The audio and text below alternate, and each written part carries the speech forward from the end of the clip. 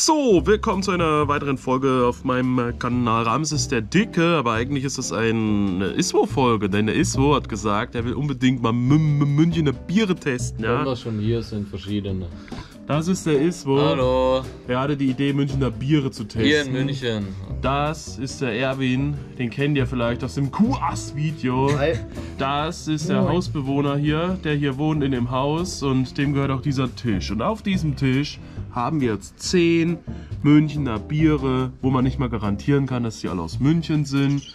Äh, der Tisch hat krumme Beine, eins ist letztens schon abgefallen, halb egal. Ich habe die jetzt sortiert nach Alkoholgehalt, das werdet ihr gleich sehen, wir werden das vorlesen, wir werden das mal kurz zeigen und alles. Und ich will jetzt gleich mal direkt nicht lang hier, sondern mal anfangen.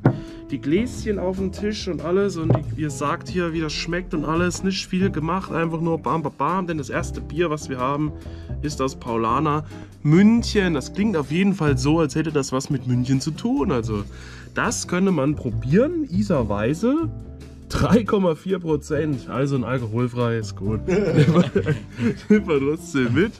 Stellen wir mal kurz hier so ab. Die Kiddies machen das hier gemütlich auf. Ist bestimmt nicht jeder drauf. So, füllen das mal alles hier irgendwie ein. Und das Äh, sind nicht 10, sondern nur 9. ja, und es ist 10 Biere, ne? Schreiben wir in den Titel, weil es sind nämlich nur 9. Da merkt ihr, je mehr Bier ihr trinkt, desto weniger könnt ihr rechnen. Und deswegen, oh, eine Lavalampe haben wir gebastelt. Das sieht aber auch gut aus. So, es ist schwer immer abzuschätzen. Oh. Oder? Oder? Oder? Man muss beim nächsten Mal anders anfangen einzuschenken, glaube ich. Dann ist das besser. Du bist der Einschenkmeister. Ja, das ist, kann jetzt nicht immer gerecht zugehen, sagt man mal. Hier ist eh nur Schaum in der Vase. Ihr kriegt eure Bechers. Da Dankeschön. ist auch, das, das ist alles schwer einzuschätzen. Ja? Ihr fangt einfach mal alle an zu trinken und sagt dann, was ihr davon haltet. Ansonsten stelle ich euch nämlich hier in die Ecke. Das sieht man vielleicht ein paar Leute oder auch nicht. Ja, da ist der Ismo. Hallo. Ich bin hier irgendwo, reicht das so. So, dann Let's go. Prost, einfach in die Luft, Prost. fertig. So, Uiui, ja.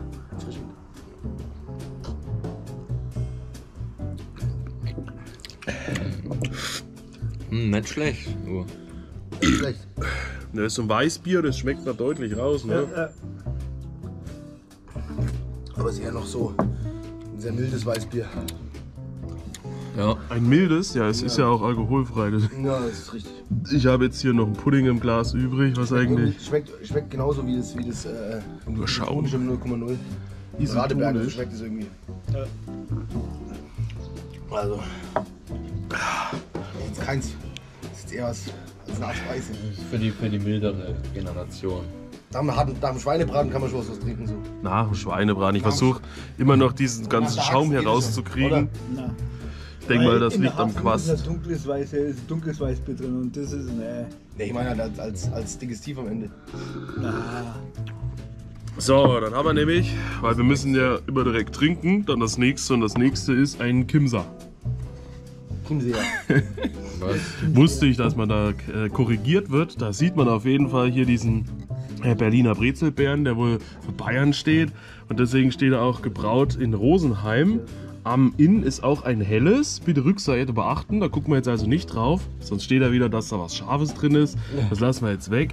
Aber das sieht man, das ist hier schön beidisch. Wenn du hier Brezeln kaufst, hast du ja auch immer dieses Jo, Maru ist fast Dieses- wieder Homie. Ich bin echt dabei. blaue Dings da drauf. Ja, mal.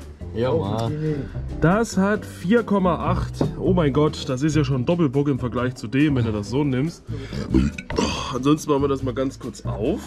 Das ist mein Lieblingsbier auch zur Zeit. Also sehr, sehr lecker. Okay. Gut, nein. Wie spricht man es jetzt nochmal richtig aus? Chiemseer. Chiemseer. Ne? Seht ihr auch Kiemen? Schreibt es mal in die Kommentare. Und ich brauche mal eure Gläschen, damit ich wieder versuchen kann, jedem. Der Erwin hatte vorhin am wenigsten sein Lieblingsbier. Das heißt, er kriegt jetzt den ersten bitte. richtigen, dicken. Deftigen.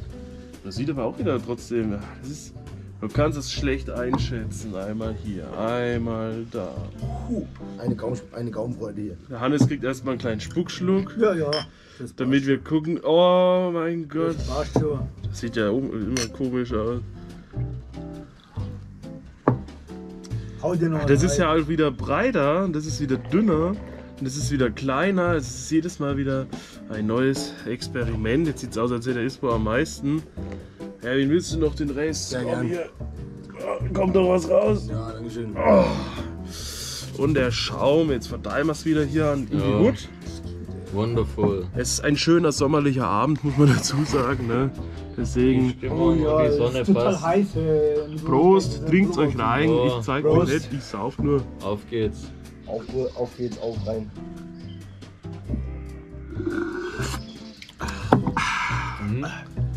Helles ist immer gut. Schmeckt mal den Alkohol gar nicht, ne? Ist ja genauso mild wie das erste. Das geht rein, du. Ist bestimmt ein Die gutes Runde wie Butter von Trinkbier. Mutter würde unser gurken- gurkiger Freund sagen. Ja, Grüße, grüß den mal, ne? Grüße gehen raus an Gurkensohn. Wann kommst du wieder?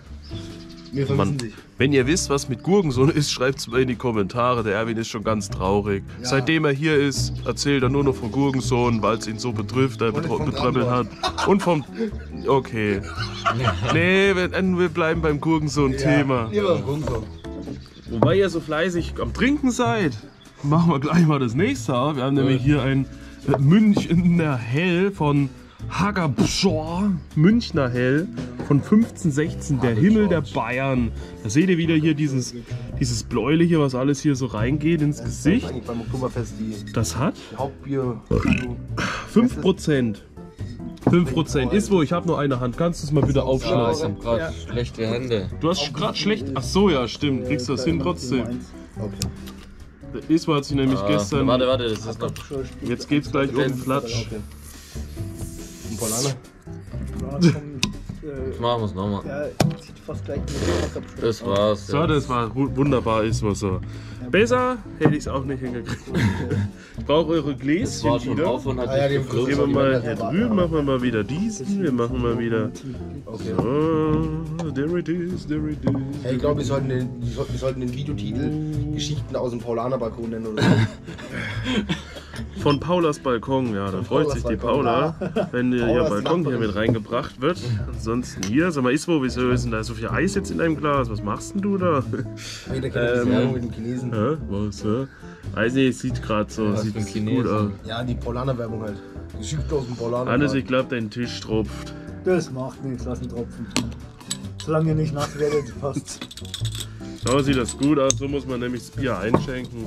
Dann wird es wieder verteilt an die Community hier. Dankeschön. Und dann kriegt der Meister wieder seinen Crew. Oh, ich bin Braumeister für die Gaben. Dann würde ich sagen, Prost hier in die, in die Runde. Und wir Auf stellen Knie. darüber, dass man euch das Prost. sieht. Auf Prost, die zack. Dicken, Auf die dicken, auf die dünnen, auf die gut aussehenden, auf die weniger gut aussehenden. Und aufs Bier. Also die Blondine hier, die ist schon echt toll. Die finde ich sehr gut. Knackelig ist es sehr gut, ja. Ich fand den Kimser besser, Ich finde, es, weil ich finde, es hat so eine leicht süßliche Note ein bisschen. Hm, ich Oder? fand den jetzt besser. Ja, schon. dann schiebe ich den jetzt in Also deine rund, Richtung. aber der- also Ja. Ja. Den schiebe ich in meine. Mund das ist eine leicht werden. süßliche Note. Süßliche Note. Ach, euch schmeckt ja immer nur, wenn es mehr Promille hat, dann ist es automatisch besser. So, und das heißt, das nächste müsst euch noch besserer schmecken wie der, weil der nächste ist nämlich ein urdunkel naturtrüb, schon wieder von Paulaner München. Also, ja. Diesmal nicht hellblau, sondern diesmal halt, weil es naturtrüb urdunkel ist. Mit nicht fünf, sondern gleich ganze. Oh, hat auch fünf, gut. Habe ich mich verguckt, habe ich gedacht, da ist jetzt mehr. Ihr seht, die Bewertungen, die fallen auch gar nicht so ausführlich aus, weil man kann ja nicht einen Sitz hochloben, wenn man die anderen noch nicht kennt. Also muss man ja eigentlich erst alle trinken und dann kann man immer noch sagen, dass man sich nicht mehr ans erste und zweite erinnern kann. Hauen wir nochmal ins Gläschen und mehr ist es auch nicht. Schenken wir mal diesmal. Oh, russischer Quar, guck. Diesmal muss ich hier anfangen, weil der Isma, der hat eben zu viel gekriegt, dann muss man jetzt wieder anders anfangen, damit es wieder an der anderen Seite und dann wird's- was war- So, fertig, hier. La la la, die bam und noch ein bisschen Dor.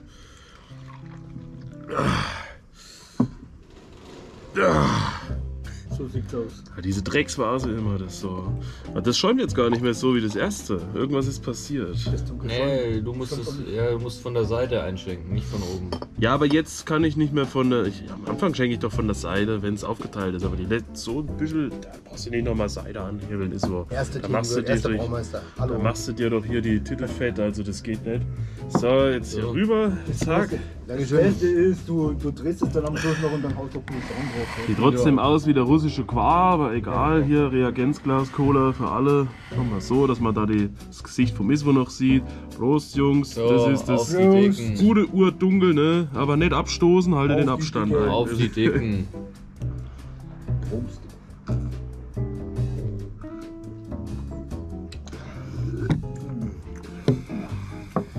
Hm. Oh. Hat bittere Note. Ah, äh, also das war jetzt das Schlechteste bisher. Ein, eine bärige Note. fand ich jetzt. So. Ja, ja, das Schlechteste, sag ich doch. Je mehr Prozent, desto schlechter schmeckt's. Genau. War, haben wir doch Was eben schon Erwin? festgestellt. Also ich sage auf jeden Fall, normalerweise geht bei mir Bier runter wie Wasser. Also schön runter die Kehle ölen, aber das ist keine Kehlenölung mehr, das ist schon irgendwie Bepanthenölung. Äh, äh, einschmiere so. Bier runter. Beim Hannes geht immer nur die Hose runter, weil er Genau. nämlich heute kein Gürtel dran hatte. Da musste er immer so festhalten, Ja, alle fünf Minuten. Das war Genau. auch richtig Das toll. war kein geschmackliches Highlight, sag ich mal. Ja, dann Ja, das dürfen wir ist da auch gar nicht mehr so lange uns halbe aufhalten. Mahlzeit. Wir müssen das nächste Highlight suchen. Wir haben nämlich jetzt als nächstes hier dieses HB-Männchen. Hier kannst du rauchen wahrscheinlich. Hofbräu München. Hofbräu Original. Münchner Bier, weil es Stuttgarter Hofbräu Ja, kennt. weil Würzburger Hofbräu ist genial. Da bin ich mal gespannt, wie das schmeckt. Also. Braucht nach dem Bayerischen, ja, das steht ja So, überall drauf. also. Stadt. Das, das hat aber jetzt wirklich so geil. mehr. Das hat nämlich 5,1. Warte, an die, an die Zuschauer. Stuttgarter Hofbräu nicht zu empfehlen, nicht zu empfehlen. Aber der Bo hat mir Stuttgarter Hofbräu geschickt. Bügelpilz oder. Das war gut, das war richtig gut. Er hat gesagt, es gibt auch welches, was schmeckt. Also ist nicht alles so. Es gibt, es gibt ja verschiedene. HB, HB-Männchen gibt es ja auch. Ja, aber das ist ja kein Stuttgarter. Guck, das ist ja. Nee, hier. deswegen bin ich ja gespannt, wie das schmeckt hier. Von der Farbe Auch jetzt wollte ich mir das ganze Glas voll machen, so aus Reflex.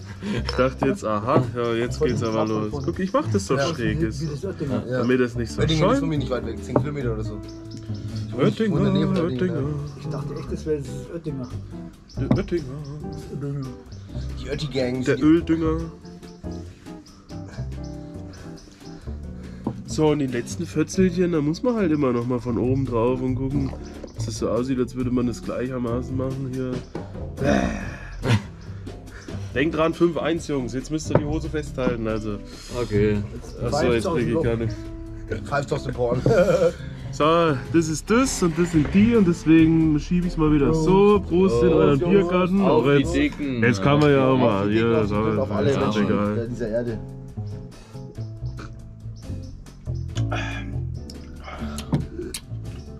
Ah, ziemlich gut. Mhm. Da fand ich den Kimser aber besser. Mein Favorit war bisher das Chiemsee, muss ich gestehen. Ja, da sind wir schon zwei. Wer bietet mehr? Das war aber davor mal schon mein Favorit. Ja, Kimchi ist ja nicht schlecht. Nee, Ah, das ist schon ziemlich gut. ich habe jahrelang Tegernseher getrunken. Erst Ich denke, das, das, du das und das, die sind ungefähr gleich auf. Aber jetzt kommt Spaten. Das Ich denke, ich bin an dem Punkt, da merke ich eh nichts mehr. Das ist das Problem. Das trinken wir schon die ganze Woche, ja. Das ist richtig gut. Herr Erwin wollte bei Ankunft unbedingt ein Bier haben, wenn er kommt. Und da hatte Iswo eine ganze Palette Dosenbier von dem Spaten hergezischt. Genau. Das ist Ja, gestern irgendwie dieses eine Palette direkt leer geworden. Also eins wollte er haben, eins Palette ist es geworden.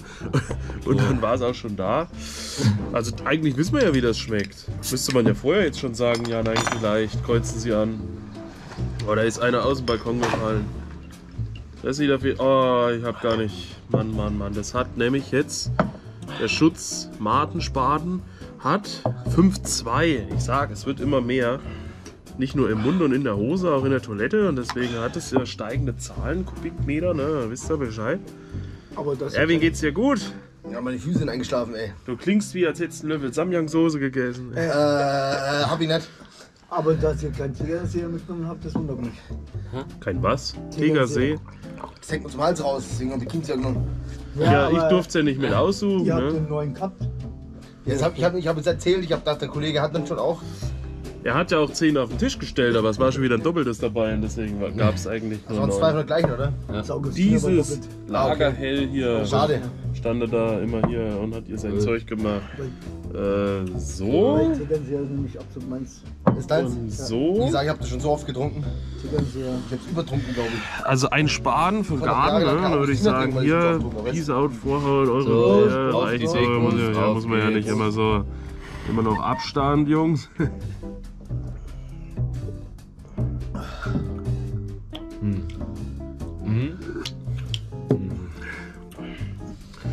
das habe ich ja noch nie getestet.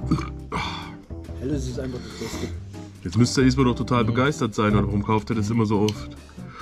Also die sind bisher die Favoriten von meiner Seite aus.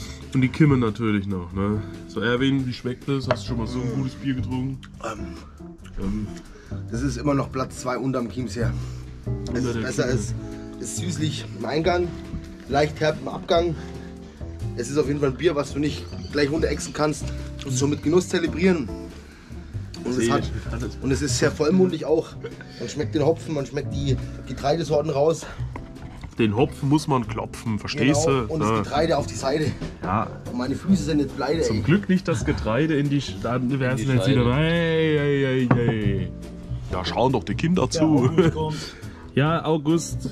Warte mal. Ich sag doch, mitten im Hochsommer. August, fertig. Ja, der August Dann habt ihr jetzt hier helles voll Bier. Äh, Augustinerbräu München. Der sieht auch aus wie der Hannes. Der, hat, der guckt auch so. Und da, das ist Lagerbier hell mit 5, haltet euch fest, nicht 1, sondern, naja, 2 ist es halt. Da muss man jetzt auch kein Spektakel draus machen und einfach sagen, gib mal hier das Ding und dann danke dafür und dann machen wir das auch und dann machen wir das hier rüber. Erstmal hier. Deswegen habe ich keine Füße, da passiert mir sowas nicht. Ohne Hände keine Kekse, ohne Füße kein Bier, oder? Ja, ey. Ohne Füße keine Käsefüße. Doch, kannst du ja kaufen im Laden für drei noch was und dann denkst du dir, i, schmeckt wie Bubble, kaufe ich nicht mehr. Aber ja auch getestet, wissen wir ja. Ihr guckt ja immer alles, da wisst ihr ja Bescheid. Ja, das war eine Mahlzeit, genau. Eine ganze. Tschüss, Erwin. Oh, alles gut, mein Fuß ist eingeschlafen. Da, der erste, der erste ist schon kaputt. Er gibt schon auf. Einmal da, einmal da, einmal da, Ich einmal geb nie da. auf. Aufgeben ist keine männliche Einstellung. Okay, dann setzt, es geht weiter. Ja, Mann. Es sind ja dann nur noch zwei, also Jungs, das ist ja hier, Alles das gut. geht ja mal wieder. So, das ist hier der, das Hannesbier. So.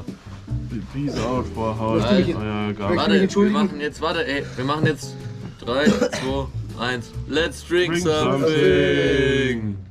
Prost.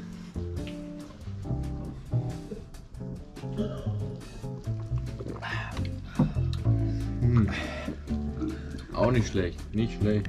Mir ist die Hälfte einfach nur runtergesabbelt, aber Aber Augustin habe ich mich auch schon zu besoffen. Bitte? Ist gut, ist gut, im, ist gut im Geschmack. aber das haben wir doch auch die Tage Aber schon mal getrunken, der oder nicht? Augustiner, nein. Ich? Nein. Ja, dann sehe ich Wir es nur, weil da drei Flaschen stehen Ja, und ja. deswegen denke ich, das ist es, aber das ist es nicht, weil das ist nämlich das andere. Wir haben nur Spaten gehabt jetzt momentan die letzten Tage. Spaten haben wir gehabt. Sag sowas nicht, die denken, wir haben noch was im Garten verschanzt. Also, äh, äh, äh, ja, die Gläser sind schon da, aber das Bier muss doch auch erstmal her. Wir haben nämlich hier nochmal das gute Erdinger Weißwurstbier. Ne? Das ist nämlich hier das, das Erdinger Weißbier. Das ist scheiner Pracht, aber das schmeckt uns bei Tag und bei Nacht und deswegen ist es dunkel. Wir haben nämlich Privatbrauerei seit 1886 hier Erdinger dunkel. Die meisten, die sich irgendwie was mischen wollen, ja Bananenweizen, nehmen ja immer das Erdinger.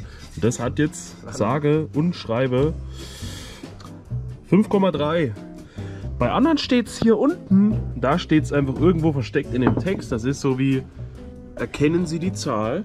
Du musst dir dann den ganzen Text sich durchwühlen, damit du irgendwas erkennst und sagen kannst, yo. Ich glaube, wir müssen dann nochmal los und Bier holen für den Abend. Genau. Äh, Drink something. ach, Jungs, Ja. ihr übertreibt's doch schon Machen wir wieder. beim Da schon mal. wieder hier irgendeine. Das ist jetzt wieder der äh, russische Knarf. Das Nee, ist jetzt wieder ein Quark. dunkles, das hat viel Prozent. Ich weiß das Wort nicht mehr. Ist wieder dunkles, oder? Aber ich muss euch ehrlich sagen, das Helle ist, also Helles ist bei mir besser. Das ist doch Erdinger Weißbier. Wie kann ein Weißbier dunkel sein? Das ist ja wie der dunkle Schnee im. Sommer, der da runterkommt und dann war es doch nur Holz, Kohle. Und die. Du Jeder führt seine eigenen Gespräche. das. Habe ich. 5 5,3 hat er. 5-3, genau. Hannes hat aufgepasst. Hannes kriegt das Bienchen. Hannes, oh mein Gott. Was aufs sticht. Oh, Ja. was, ist denn, ist jetzt hier? Das alle. Das ist Das, das ja, Dicke so, alles durcheinander. danke. So, das Ding fällt auch gleich und dann muss ich mal. Das hier jetzt so. Jetzt trink something oder Eins, was? zwei, drei. Let's Let's drink drink something! Äh, Ja, trinkt ihr mal hier euren Span und das alles hier. Das sieht auf jeden Fall richtig gut aus. Oh. Oh. Oh. Wie gesagt, dunkles Bier ist keine Zunderechsen. Ah. Schmeckt mir ganze Magen auf. ey. Das schmeckt aber muffig. Das schmeckt rosig, ja. Schmeckt irgendwie erdig. wie so ein Ehrlich? Muff schmeckt das. Ja, Das ist ja auch Erdinger. Wie Waldboden. Es schmeckt wie erdig, das Waldboden. Erdinger schmeckt erdig. Aber- Wie Wie Haben sie's doch- Aber wie gesagt, äh, äh, dunkles Bier ist eigentlich nur zum Kochen eigentlich ge- geeignet. In meinen Augen finde schon, ja. ich. Ja, in meinen auch. Das ist, das ist äh, genau wie das Sal Salvator. Schmeckt wie aus dem Reagenzglas. Guck. Das hat ein Freund von mir damals getrunken. Alter, Das, ist- das, das ging gar nicht. Ey. Ah. Ah, das, das ist. äh, Aber einer ist noch übrig. Es war gut, dass wir das Licht aufgebaut haben. Kellerbier, ein helles, oder? Entschuldigung. Kern, wo, in welchem Keller ist es denn bitte schön hell? so füllen, wie wenn ihr äh, äh, In dem vom Ramses, weil der hat ein Licht aufgebaut. Hier der Himmel der Bayern. Wir haben ja vorhin schon mal hier einen Hackabschor gehabt. Wundert mich, dass ihr nur zwei Hackabschor-Sorten hattet. Wir haben nämlich den Hackabschor gehabt, das Münchner Hell. Und dann haben wir den Hackabschor gehabt mit dem Kellerbier. Da ist, bei dem war ein Haus und hier ist der, der in dem Haus wohnt Der drauf. Hagel-George, der Hagel. Der Hagelschorsch, genau. Das ist jetzt das größte. Oh. Ah, haben sie sich erschreckt. Ne? Das ist jetzt der Hagelschorsch äh, mit 5,5. Kellerbier, da müssten wir eigentlich nach runter gehen. Und, ach so, ist wo willst du? Hannes, machst du es mal auf. Der ist hat ja die Hand kaputt, du sitzt hier. Dass ich das wie das einfach. Oh. Hoppa! Wo ist der Da andere? musst du aber jetzt mal das vergleichen mit dem, weil da, das hat nicht gefloppt. Ja, der Dacewar hat ja auch keine Hände. Der im Keller Erwin stand hat, und deswegen mehr Druck drauf ist. das ist halt keine Das ist Füße und der hat keine Hände und der Rest ist jetzt mal eigentlich wegen egal. Starkbier, das Starkbier-Tasting machen. Ja, aber Starkbier ist Ja, auch Mann, ich aber das, drauf. wo reinknallt dann. Da muss ja wieder Elephant mit Faxe tasten. Boah, Wasser. Das haben wir gehabt. Echt? Beides mit 10, 10%. 10 Prozent. Ein Liter Dose. Echt? Ich kenne ich kenn, ich kenn, ich kenn Elephant und Faxe. Elephant 10, Aber, 5. aber kennst, da gibt es noch die schwarze Dose, ne? Ja, Das sind die schwarzen. Ja, die Oh, schwarze, ei, 10 ei, ei. Prozent. Achso, ich habe ihn gesehen. An der Tange. Die äh, schwarze Wird ja immer geholt. die schwarze Faxe haben wir gehabt. Habt ihr dann oder was? Nein. Quatsch, einzeln okay. Ja. Auf der Toilette haben wir es dann gemischt. Jo. So. So. So. Ich glaube, in dieser Flasche war am meisten drin. Hier sind die Gläser am vollsten. So wie es ausschaut.